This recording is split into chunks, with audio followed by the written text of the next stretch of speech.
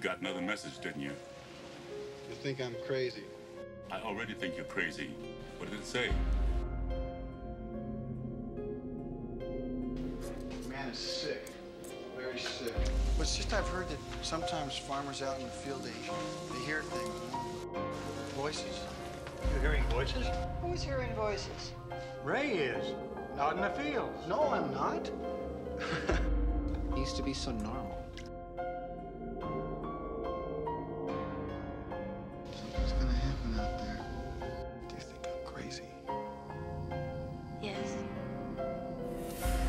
The time, you don't think much of it.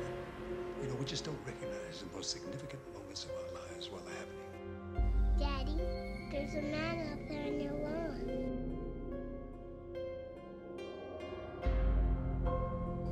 I'm 36 years old. I have a wife, a child, and a mortgage, and I'm scared to death. I'm completely nuts.